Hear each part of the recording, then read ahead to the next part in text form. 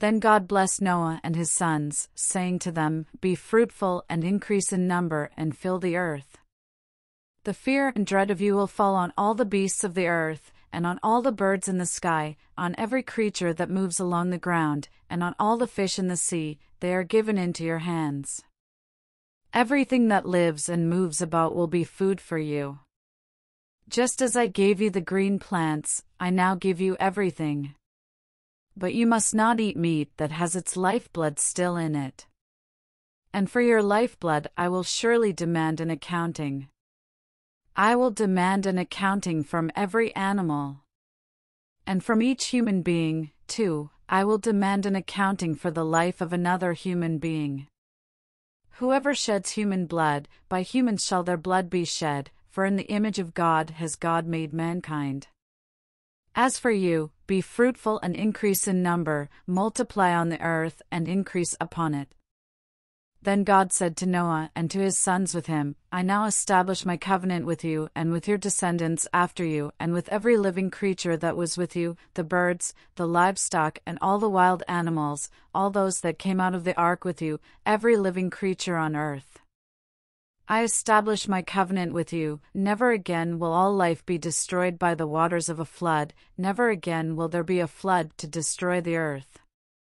And God said, this is the sign of the covenant I am making between me and you and every living creature with you, a covenant for all generations to come. I have set my rainbow in the clouds, and it will be the sign of the covenant between me and the earth.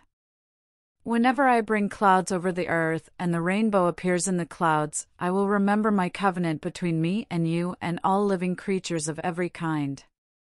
Never again will the waters become a flood to destroy all life. Whenever the rainbow appears in the clouds, I will see it and remember the everlasting covenant between God and all living creatures of every kind on the earth.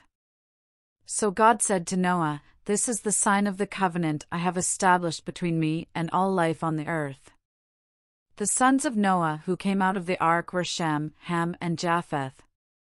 Ham was the father of Canaan. These were the three sons of Noah, and from them came the people who were scattered over the whole earth. Noah, a man of the soil, proceeded to plant a vineyard.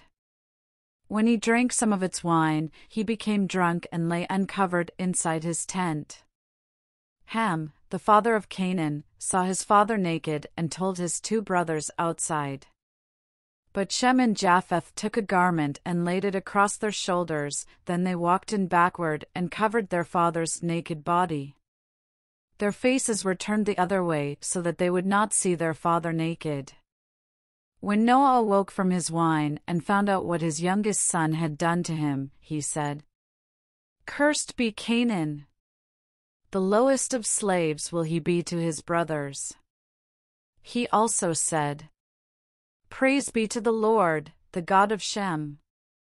May Canaan be the slave of Shem.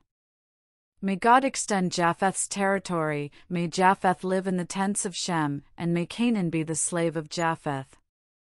After the flood, Noah lived 350 years.